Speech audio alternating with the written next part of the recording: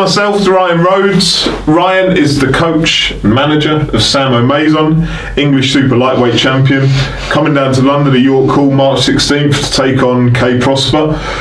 Big fight for you, man. Very big fight, uh, very big fight, and it's a fight we're looking forward to, and it's a fight we're training, training hard for. We know we can't cut no corners, we know we can't make no mistakes, and we know we've got to get it right on the night. Um, I've done done quite a lot of research on Kay Prospere, and uh, he's a good fighter. Uh, he knows how to how to handle himself, and he knows how to conduct himself. So I'm expecting a good fight. Yes, I mean you've been struggling to get fights with Sam, haven't you?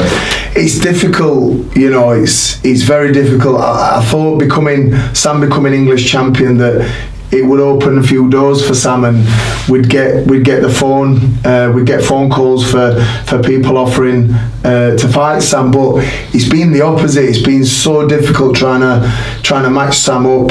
Um, reasons I ain't got a clue.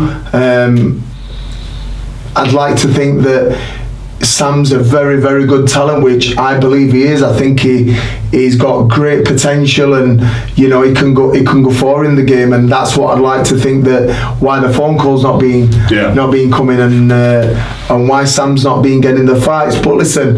It happens in boxing. You just got to keep in the gym. You just got to keep focused and, and train hard and and uh, and disciplined and, and and doors will eventually the phone will go and the, the doors will open. Is there a risk that he would have stagnated, stalled, just from not having the, the appropriate fights at his stage? The one thing with Sam is he's very dedicated, very disciplined.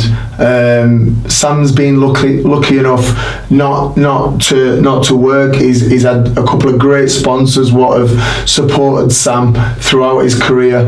Um, so he's always in the gym. It's it's me basically you know, telling Sam, you know, have tonight off. You've, you've had a good couple of weeks training and you've had a good good sparring session. So have tonight off. So that's that's the good thing, and that's where I, I don't think Sam uh, has lost focus and lost lost track on, on where he needs to be. So you know we got this fight. Steve uh, obviously won the purse bids for this fight. That's why we're down London on the uh, 16th of March. York Hall, the famous York Hall. Yeah. What a venue! I boxed there a couple of times myself, and it's it's it's going to be a great fight. It's going to be a great fight, and, like I said, we're not cut, we're not going to be cutting no corners. We're going to make sure we we we train hard and we're disciplined, and we're, we're, we're gonna we're gonna enjoy the night.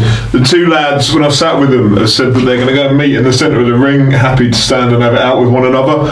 Is that music to your ears, or does that ring alarm bells? That isn't Sam's game. No, um, again, Sam's. I, I have to, you know, put the reins on Sam a little bit. You know, Sam Sam can punch, and I try to, you know, tell him to use his boxing brain 'cause he's got a great boxing brain. You know, he was down at the Ingles for for a good 10, 11 years before before he joined me. So he's got a great a great boxing brain. But Sam can punch and he likes to have a fight. So me hearing that, that they both said they're going to meet in the centre of the ring and, and, and, and have it out, it doesn't surprise me, but I'll not I'll more to it than yeah, that. I'll not allow Sam just to stand in the middle of the ring and have it out with Kay. So, but it's it's going to be a great fight. Um, Steve put some big cards on. Uh, I think at the minute there's about 16, 17, 18 fights on this card, so you're getting value for money, great value for money, and and three ten rounders I think on the night, including including Sam's fight. Yeah. Um, and does it bother you that it's away from Sheffield? No. No, no, no. It don't bother me, and it don't. It definitely don't bother Sam. We go away sparring all the time. I know sparring's different to, to fighting, but when you're away sparring in different gyms and you're sparring different fighters, you you become used to being away from from your own surroundings, being Yeah. away, being in your own gym, and, and, and being being away from your own surroundings and people around you and everything like that. So we do it all the time. We take Sam sparring. Uh, we go to Stefy Bull's gym. Uh, Sam had some great rounds uh, late last year uh, with Lewis Ritson. We was going up to up to up to up Newcastle. to Newcastle. Yeah, Lewis were coming down to our gym, so we we had some great rounds. Um, So it doesn't bother me. Um, we're bringing probably around 30 or 40 fans uh, down to London uh, to the York Hall and uh, they'll be making themselves heard on the night. In for experience. Yeah. In terms of coaches, there's yourself and Xavier Miller, um, two relatively young kind of upcoming coaches. Is it anything? You, do you study Xavier's fighter styles or just Kay in particular? No, I've been looking at Kay in particular. I mean, uh, what his other fighters do, I don't think that comes into into play. Uh, but I have been watching what Kay does, what he does right, what he does, what I think Sam can, uh, what Sam can capitalise on, and what Sam can. Um, make Kay do because this is it's not just about um, what Sam's doing it's about making Kay Prospere do things that he doesn't normally do. Yeah. and Sam's good at that. Uh, Sam's good with his with his feet he's good with his with his hand speed he's good with his power. And um, so no I, I'm just been looking at what Kay does and and, and and concentrating on that and and me and Sam's been talking on his way down. We've just done nothing but talk about about the fight coming up and um, and things like that. So yeah, So you spotted deficiencies, flaws. yeah, absolutely. I mean, he, he will do with Sam. I Yeah. mean, he'll look at Sam and and and say Sam's makes a mistake doing that or makes a mistake, but it's all right on the outside looking in and and, and spotting the mistakes when you're in the ring and when you're chucking punches and when you're um, when you when you're under attack from from someone, it's it's totally different. Um, so we just got to go in with a game plan, what we think uh, will work for Sam and what we think will will will you know and still the English champion. Yeah. And then what are your plans for Sam if you assume that he's going to come through the fight? Uh, is it to now try and secure those British title level fights for him? Yeah, I'd like to think you know we've we've been English champion for for from April last year. It's been so difficult trying to make fights with opponents pulling out and or shows or, or being promised to fight on on, on, on shows and and it not happening. Uh, and I feel for Sam because, like I say, he's always in the gym. He's always training hard, and you know the one thing I've always tried to to tell Sam just keep training, keep training. That phone call will happen.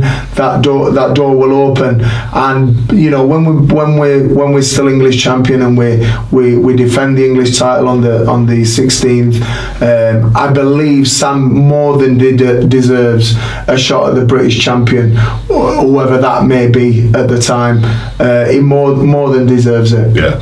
And do you think it's an advantage going into this fight with your own personal experiences of the big fights, the European title fights, fighting at York Hall as a, a younger man? Um, do you think you can pass something on? Because York Hall's an intimidating atmosphere. It's you know it's, it's rubbish behind the scenes. The Yeah, changing yeah. rooms are garbage. you, you know you've seen all of it. changing rooms Well, that's true. I'm sure. I'm sure that'll be uh, sorted by Steve. We'll have to flick a coin with that one. But I mean, all those things. Can you pass that experience onto uh, to Sam? the only thing I can do is explain and, and, and guide Sam by, by talking about my experiences and, and, and I like to think that Sam does listen I know he does listen uh, but I'd like him to to understand and, and like I boxed three times I think at the York Hall I boxed once in the ABA finals I boxed one early part of my career as um, uh, as a professional, and then I, I boxed Gary Woolcombe down here. Uh, I, I beat Gary for the British title at York Hall Bethnal Green. So I'll be giving Sam my experiences, but giving him my experiences and, and let him experience himself. Um, hopefully it will help, but we'll see. I mean, listen, at the end of the day, he's getting in that ring, and, and that's what Sam loves to do. He loves to get in that ring, have a fight, um, and and and win. That's what Sam does. Do you think it'll benefit him his trip over to Spain, where everything didn't go as planned, as hoped? The- I mean, we had a big, we had a, we had a long, long conversation about this, the fight in Spain. We got offered a great opportunity against a guy who was knocking everybody out, and when we sat down and looked at the guy, we we knew, we thought we could beat that guy. We we we had, we was positive and, and confident in going over to Spain and beating the guy. The guy. Now, what happened were uh, we, we were in the fight, we were beating the guy, Uh, I think it was around six or seven. Sam knocked the guy out of the ring. Sam was winning on all on all three scorecards. Sam knocked the guy out of the ring. The referee the referee gave the gave gave him a 20 count, 10 to get back into the ring, and then a standing a, a mandatory 10 count anyway. After that, after the, after he let the fight go on, Sam went in to finish. Uh, Sam ended up back on the ropes. Basically, the opponent just closed his eyes and chucked one hand over the top and caught Sam with a great shot. What you got to remember is the the kid could punch. The kid had only been distanced. I think he lost one, but he'd been distanced about only twice and not 27 or 28 oppo- uh, opponents are.